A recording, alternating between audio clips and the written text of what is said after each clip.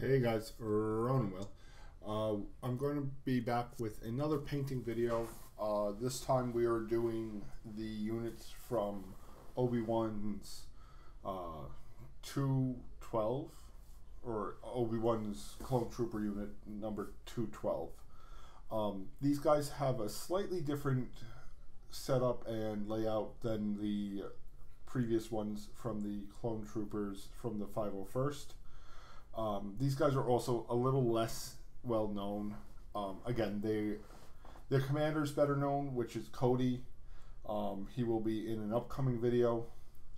But for now, I figured we would do the base coats for the characters. And uh, yeah, so let's get started. Um, I actually already have started, as you can see. I'm starting with a base coat of matte white. Uh, and I'm just kind of covering the whole damn model.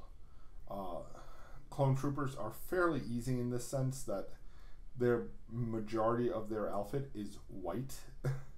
so I just end up I'm doing a whole base coating just to ensure that it's as white as I can get it. The next part after this, uh, there was a little bit of a cut there to recover some um, some footage, but this is then the Necromancer's Cloak, which is going into all the inner pockets of the arm, like the exposed parts of the armor, as well as the visor and his little, um, I don't even know what you would call them, breath mask pieces. Like I, I don't know what you would really call it. Um, but any joints essentially are going to be hit with this just to fill in, make you see that a little bit more than it's just white on white on white on white. Um, this part, I I hit two little pockets on the back, which, in retrospect, I think I should have stuck with these with the um, necromancer uh, cloak on it. I end up getting rid of it because I think I end up just repainting it white. But in in truth, I think it should have been that that softer uh, mesh material almost. Uh, so yeah, like last time, I the goal is to maybe talk more about the group, the 501st, or the in this case the 212 um, however, I'm again these guys aren't as like popular. Um, so in general, maybe we'll just go over some minor. I guess they're minor uh, facts about clone troopers in general.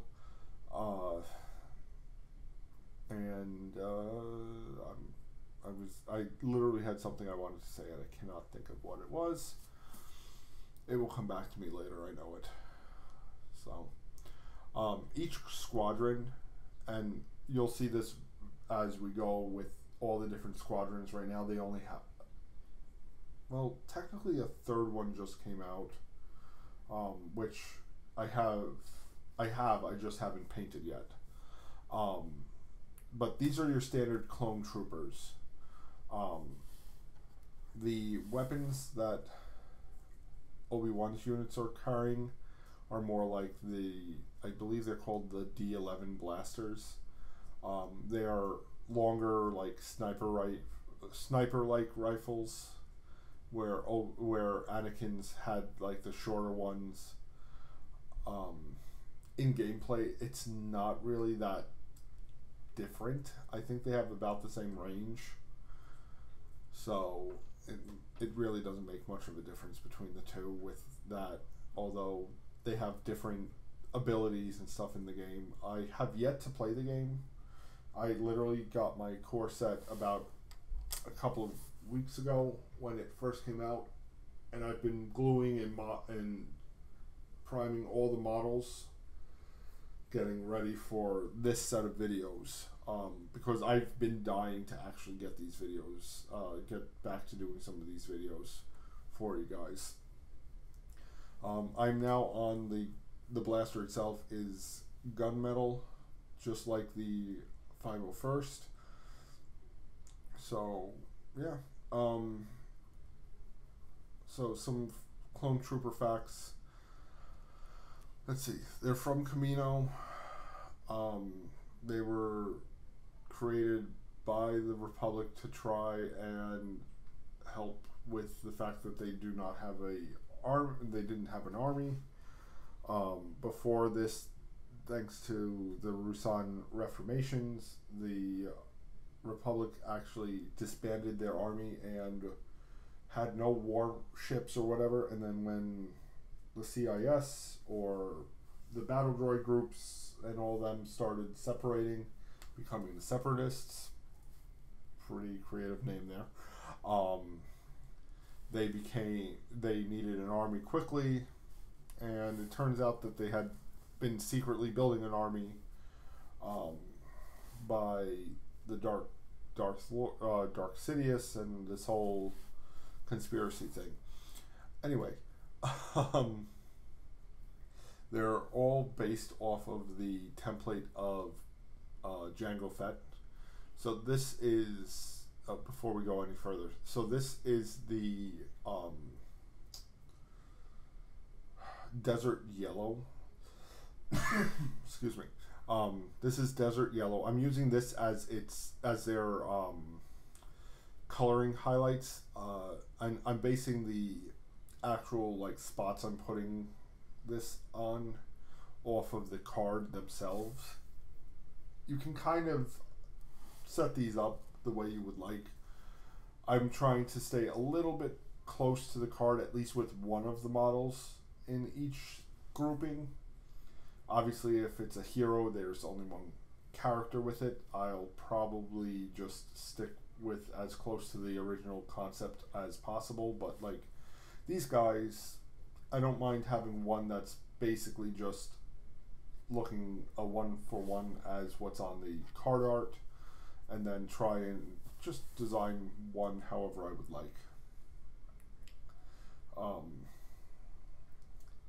so again, it's it's kind of bad with the with base coating here. You can see how flat everything looks. Um, but just like the 501st, we will soon see that he gets a lot more detail as soon as we start adding the dark tone onto everything, or the strong tone in this case. So, yeah, so where were we? Oh, yeah. So, the clones were based off of the DNA of Jango Fett by the Camo, uh, Kaminoans, uh, which I did not realize their planet is basically outside of the Star Wars universe, just like um, you see at the end of Empire Strikes Back, like Luke and Leia standing on the medical ship and all of that. So that was the strong tone. Um, and I'm just basically covering every square inch of this guy.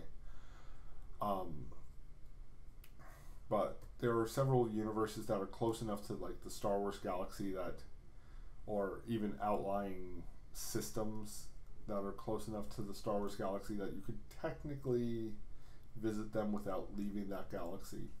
Um, and Kamino is one of those outermost planetoids or planets, um, which is why it was like so secretive that uh, the clones were being built. Anyway, um, so yeah, so Kamino clones Jango Fett. This is now a day later, um, which again, due to where I live, that's kind of average. Is I have to give it at least three to twelve hours. Um, I just end up some days I'll just leave it overnight. Uh, but I go back and I touch up all of the white with more white. Um, again, it will be nice not having to uh, basically just have white on white on white once we start doing actual character colors, characters with colors. But um, I also just got the set for the Clone Commandos. Clone Commandos? Arc Trooper? No, Clone, Clone Commanders. Um, I, I would love to get some Arc Trooper characters, but the main difference is like the the Clone Commandos are heavier armor. Their armor seems to be a little bit more like bluish tinted, although that could just be all the concept art that I've seen with them. Um, but definitely thicker armor, more like jetpack type stuff. So they're they're special forces where these guys are your common clone troopers, um, dime a dozen type deal where they're meant just they're I hate to say it, but they're expendable kind of like droids in this franchise. Um, I don't know too many of the uh, two twelve other than Cody. Um, yeah, everybody else, like, they don't spend as much time in the Clone Wars series with them as they do with Rex and uh, the 501st. Which is funny because I feel like I feel like Obi Wan and Anakin tend to spend a lot of time together, but in the in the shows, but the 501st are primarily the ones that they showed, not so much the 212. Um, which I don't know. I don't know if that's by choice or if it just happens to work out that way. Or maybe there's characters that I'm remembering that are in the 501st that actually were in the 212. I could not tell you. It's hard to really be able to remember characters' names that that well if they're just like one or two episodes. And since they all have the same voice, kind of look the same and act the same, it's very very hard to differentiate between them. So. So I do apologize, and I was meaning to apologize for this in the beginning. The last video and even this one is not going to have any like music in the background um, due to time constraints. Uh, when I actually have the time to edit and like post, that I'm not rushing because that's basically what I'm doing is rushing to try and get these ready for for the next couple of days um, I will actually be able to sit and pick audio, pick music that I would like to have in the background. I'm I feel like something like not obviously not copywritten, but like futuristic sci-fi just background music type stuff that can play either on loop or has a long enough play cycle.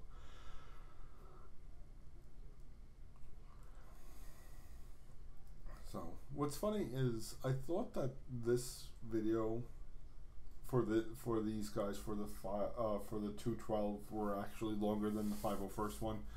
Um, it looks like actually the five oh first had more going on than um, these guys. Although it could be that I'm getting back into yeah like actually painting the way I used to paint. So we'll see. Uh, this is just again those highlights, and by using a small enough brush, I'm not removing any of that detailing that I added by dark toning it or strong toning it. I keep saying dark tone because that was my default back uh, when I first started painting. I would dark tone everything. Um, which I mean, I still kind of like the dark tone more than uh, some of the sh- the other shaders, but um, in this case, I wanted something a little bit more dirty based. So like, it looks like they spent more time out in the sun in the in the elements, not so much just standing in the shadows type deal. So. So we're just adding little bit more of the white there where we need it to finish it off. Uh, again, I adjust the camera angle because at this point the battery had died and I really need to get long, better batteries. Um, that said, I have like this. You you're watching it at double speed, but um, this only took me a little over an hour between the uh, initial base white and finishing this model.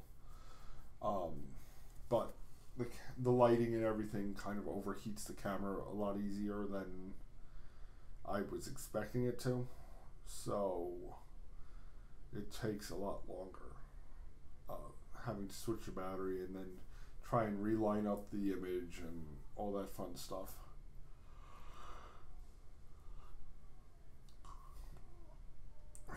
So this one I was a little bit more cohesive. I started with the legs and worked my way up. Um, if you remember the 501st, I literally was arm, now leg, now back, now butt, now back to the arm, now to this leg, now this arm, now you know, I was jumping around a lot. This one is not as much jumping. And for the most part, I think it's a little bit more cohesive. So if I had an option to redo these guys, I might have painted them before gl- fully gluing them together.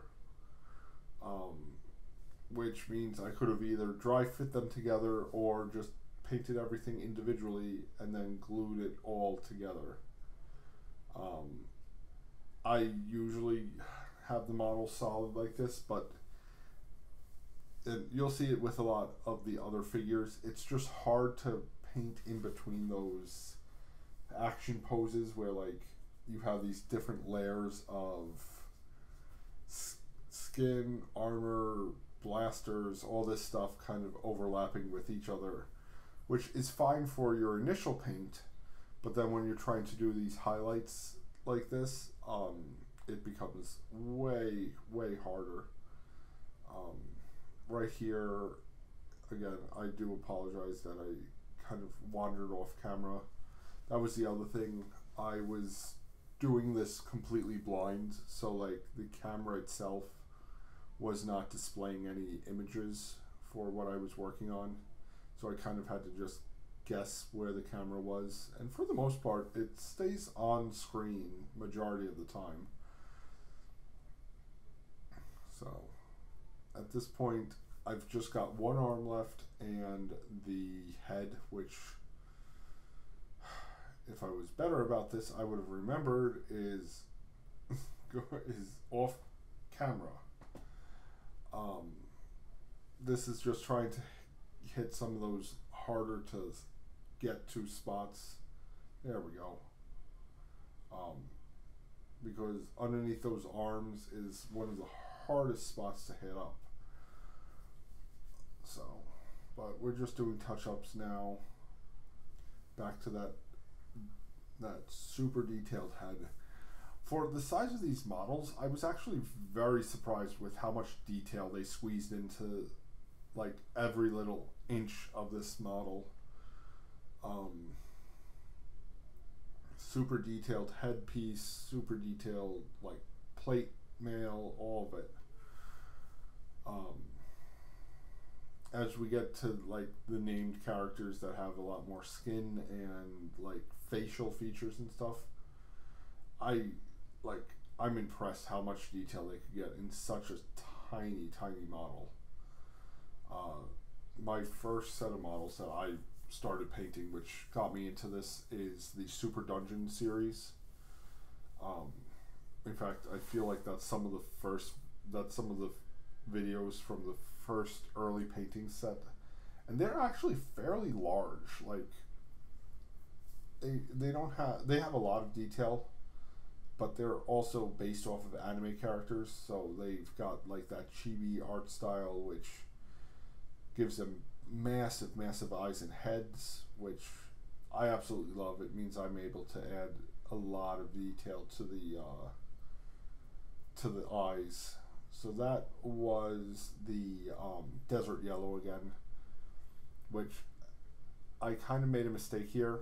I painted over a lot of the desert yellow, so I'm trying to remember where some of this neck, uh, this desert yellow was sitting.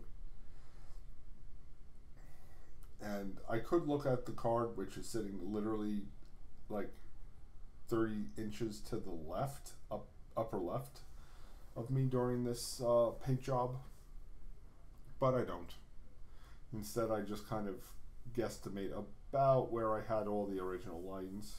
I can still see some of it when I was uh, doing this, but in truth, if if you're going to do it like like how I did it, you may want to take your time again, slow down, and paint the areas a little bit more um, in your face so you could easily spot the sections. He has one of the most aggravating uh, stomach slash chest designs because of that big blaster. Um, it doesn't really go all the way up to his chest. Instead, it just goes up through the like the stomach guard area. Um, this is where I kind of ended up doing more like a Cody design on his um, his helmet there. I added a single line down the what is that a fin, the fin in the middle of his head, I guess. This kind of sounds like Yondu. Um, and then I'm just again I'm adding this the um, 212 like